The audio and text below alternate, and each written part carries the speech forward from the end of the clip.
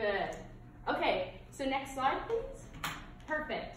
So why is it important to be professional? Why is it important to be professional? So when you are working with tourists, why is it important to act like a professional? Okay, so talk to a neighbor and come up with one or two reasons why it's important to act like a professional. So talk to your neighbor.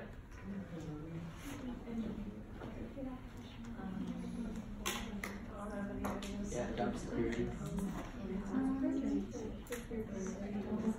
Oh, you're right. So, um, you a.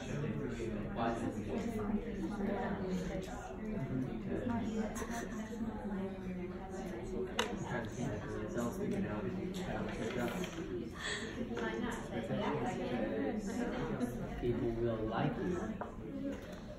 I didn't sign a waiver.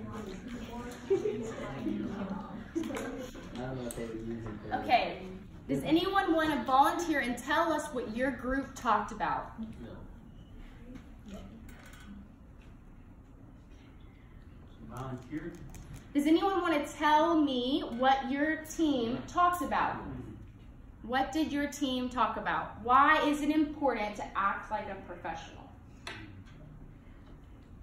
So people want to come back So- hear what you have to say. Good, did everyone hear that? No. So people want to come back and hear what you have to say. So people want to hear from you. Good, that was good. One more. To make money. To make money. Good. So when you act professional, you can make money. That was good. Thank you. Okay. So today I'm going to talk about through some examples of words or phrases that are professional and words or phrases that maybe are not as professional. So right here, a common phrase, I'm sorry. Can everyone say I'm sorry? I'm sorry. So another way to say that is my apologies. So my apologies that you um, your train was late. My apologies. It's a kinder or more nice way to say I'm sorry. Okay.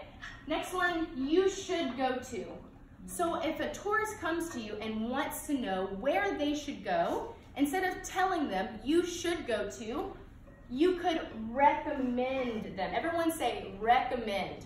Recommend. I recommend going to the museum. Make sense? Okay, good. Next one is hold on. So if someone is trying to talk to you, but you need a minute, instead of saying, hold on, you could say, one moment, please. Hmm. So everyone say, one moment, please. One moment, please. Good. Do you hear how that sounds more nice or more polite? Please. Please. Yes, the word please here instead of hold on. Good. And one more, I like.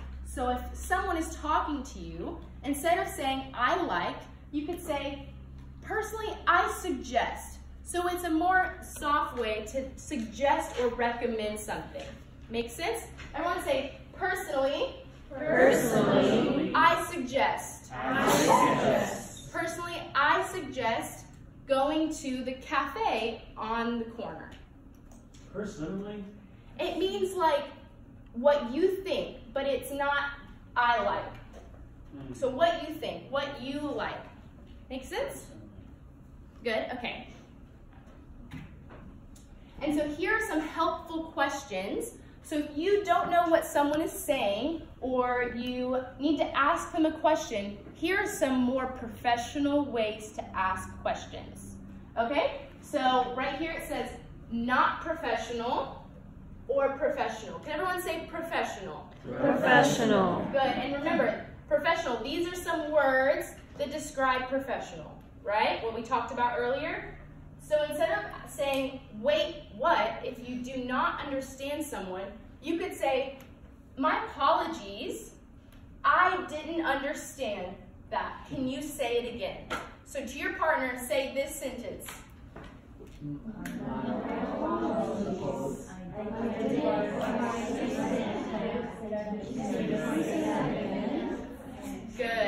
So if someone talks too fast or you don't understand their English, you can ask them to say it again. Say, my apologies. Remember, that's a more professional way to say I'm sorry. Remember that? Okay. And right here, what do you need? So if someone comes to you and they need something, instead of saying, what do you need? You could say, yes, do you have a question? Everyone say, yes, sir, ma'am, or yes, ma'am. Yes, sir. Yes, ma'am. Do you have a question? Do you have a question? Good. And let's see, one more. Can I help you with anything else? Everyone say this.